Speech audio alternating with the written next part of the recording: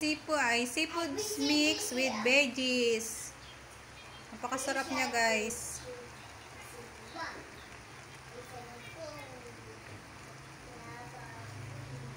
Kain tayo!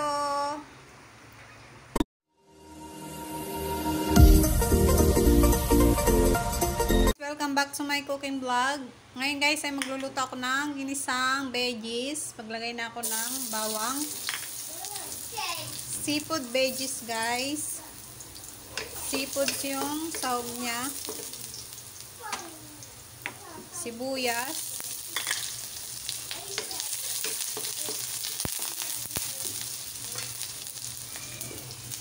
Crab stick balls. Niwa-hiwa ko yung crab crab stick balls, guys. Hindi tayo makabili ng buong crab crab ano? Lobster. Lobster balls pala, mali na naman crab. Ano ba yan, guys? Pasensya na po kayo kung medyo mali-mali talaga ako. Hindi pala medyo madalas pala. Yung tahong na pinakuluan ko na.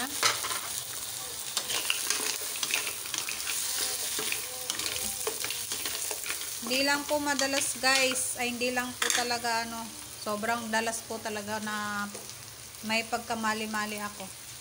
Hipon.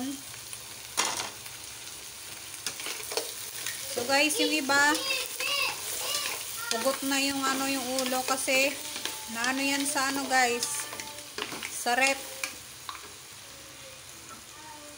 Mas maganda pa talaga pag bibili ng hipon, niluluto agad. Pero pag nilagay na sa rep, yan ang kalalabasan ng hipon. Ganyan yung kulay na. Maganda ko guys ng paminta. Black pepper. Tapos, magic sarap. Naalog din yung cellphone ko.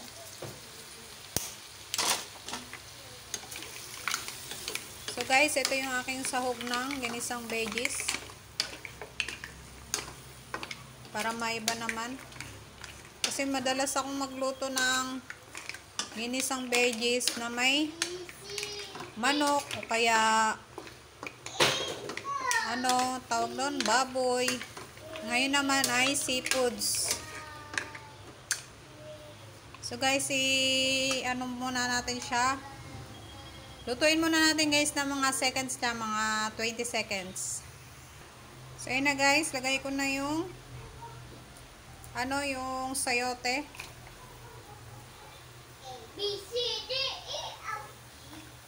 Tapos yung bagyo beans.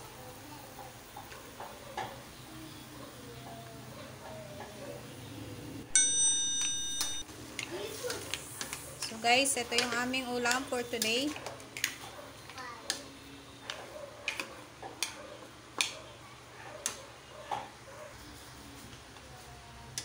So guys, nahalo ko na. Uh, maglalagay lang ako guys ng ano toyo. Ano, dalawang kutsarang toyo. Tapos tak takpan lang siya guys. Hintayin lang po natin maluto na yung veggies. Tsaka ko po ilalagay yung ano crab steak at tsaka yung repolyo. Update na lang mamaya guys na guys, naluto ko siya ng ano, ng 2 minutes. Ilagay na po, ilalagay ko na yung cabbage.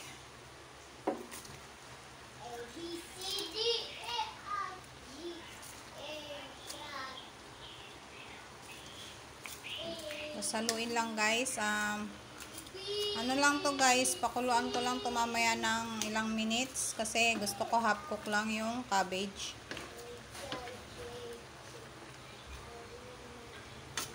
Tapos lagay ko na yung crab stick. Haluin ko muna siya guys kasi hindi ko mahalo masyado kasi hawak ko yung isa yung cellphone. So ayan na guys, nahalo ko na siya. Pakuluan ko lang muna ay lutuin ko siya na mga 1 minutes.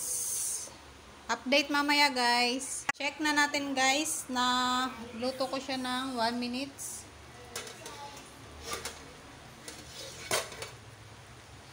So, yun na guys. Okay na siya. Haluin lang natin ng konti.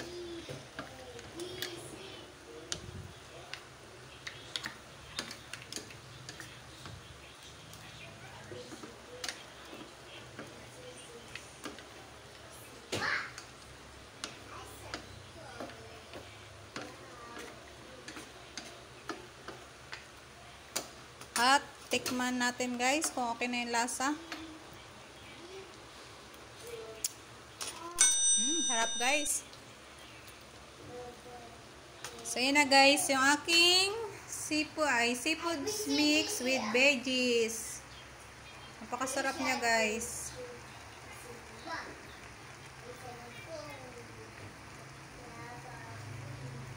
Kain tayo!